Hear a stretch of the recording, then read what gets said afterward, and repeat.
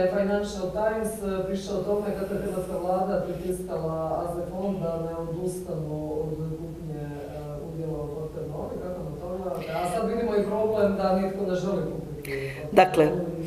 Ja vam moram reći da e, imate, dakle politikom se možete baviti na različite načine. Možete se baviti na način da sve onako fino kažete uvijenu u rukavicama, možete se baviti u jednom času i na načinom da probate neke stvari zvati pravim imenom. Ja nekako mislim da i nastojala sam cijelo vrijeme da neke stvari zovem pravim imenom. Bivše vlade, ne samo jedna, je imala svog Ivicu Todorića. Uh, naš premijer Plenković ima svog Ivicu Todorića koji više nije Ivica Todorić nego Pavo Vojnovac.